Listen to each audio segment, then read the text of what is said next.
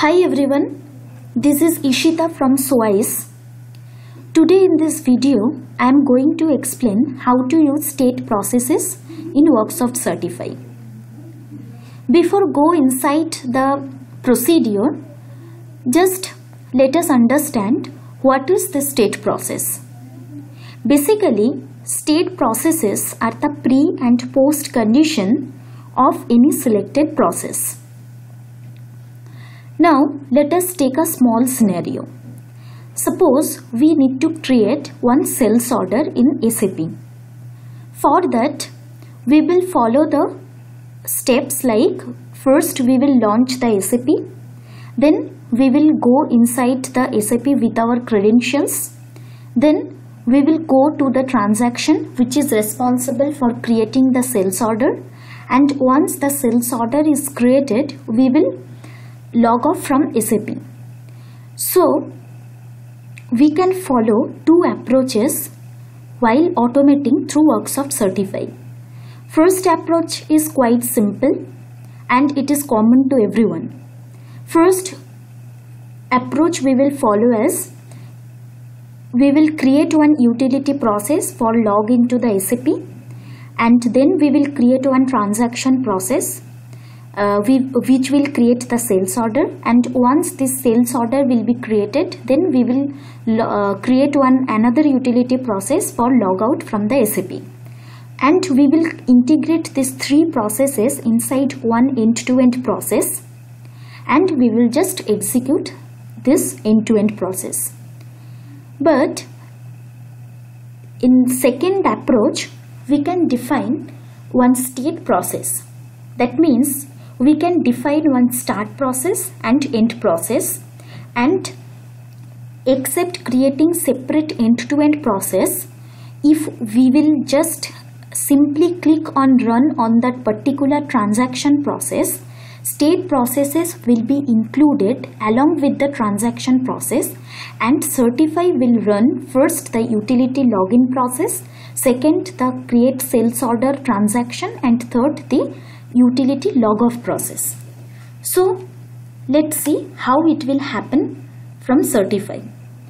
So for that we need to open our Worksoft certify any version.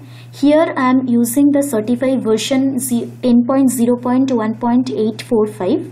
You can use any version. So this feature is available in any version. Second step, we need to click the project tab and there we need to select your own project. Third, you need to go to the application version and there you can select the edit state process once you right click on the application version. The fifth step is you need to choose your state processes that is start process and end process and click OK.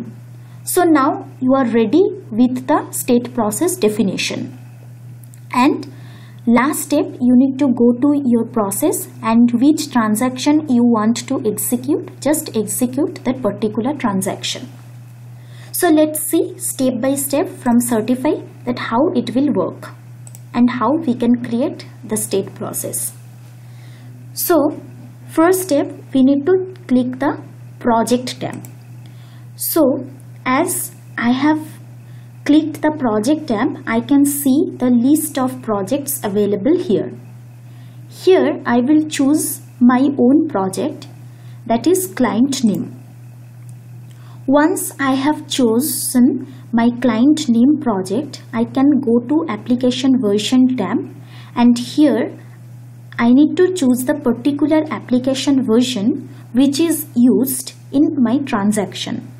Here I am using SAP GUI 1.0 application version. So I will right click on this particular application version and I can see the edit state processes option. So I will choose this edit state process and as you can see the edit state processes window came.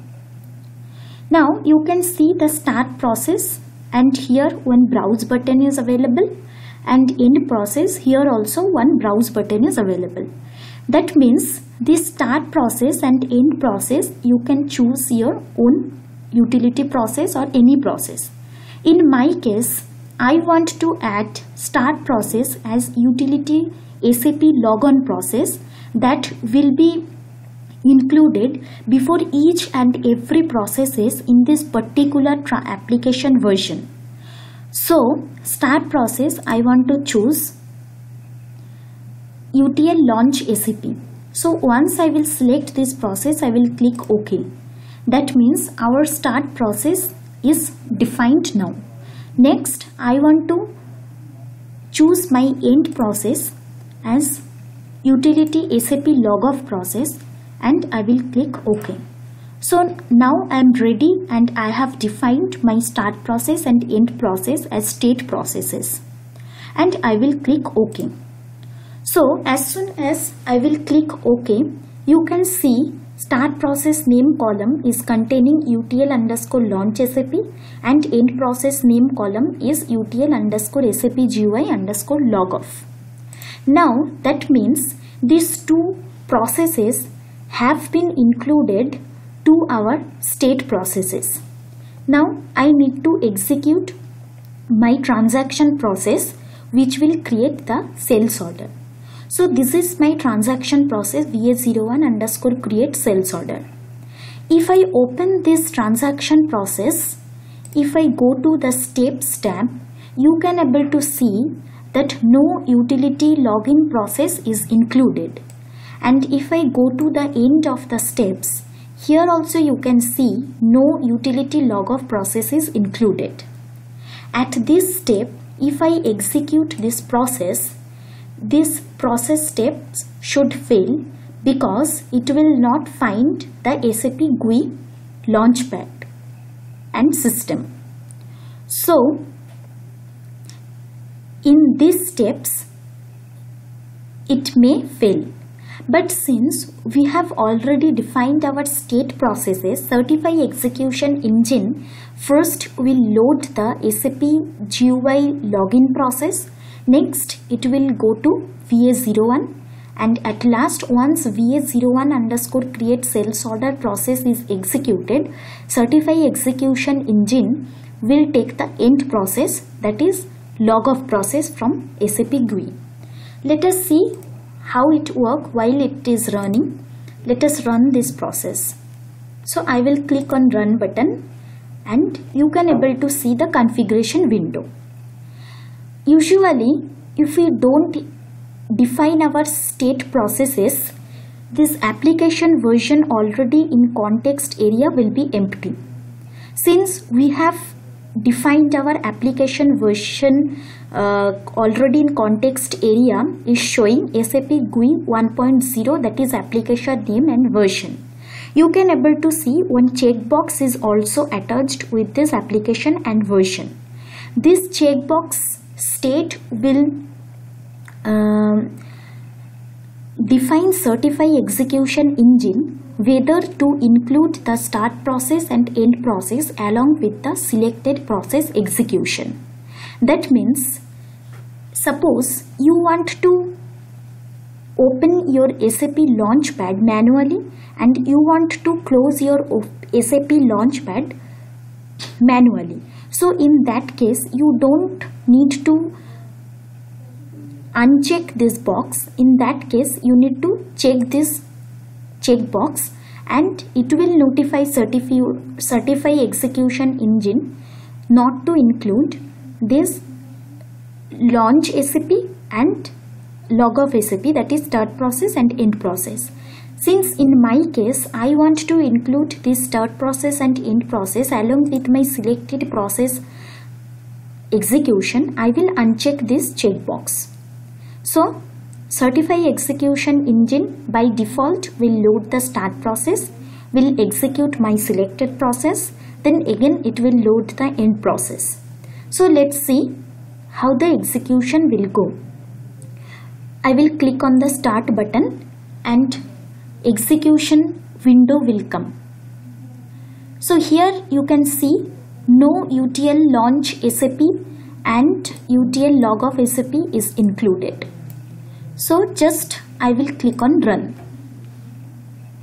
So as I have defined the start process So it has launched the SAP GUI and it has logged into the SAP GUI and once it is over SAP GUI is getting closed. Now the execution is over and if you see the result you can see the UTL launch SAP and UTL log of eh, process is also already included. Now let us see the result PDF. Here also you can see the UTL launch SAP is included and it has been executed before the VA01 process has executed. Then after this UTL launch SAP process, it has executed the VA01 and VA01 process has created the sales order. Here VA01 process has created the sales order and once VA01 is completed it has executed the UTL SAP GUI log of process. So this is the state process and this is how we can use the state process from our Worksoft Certify. Thank you. That's all from my side.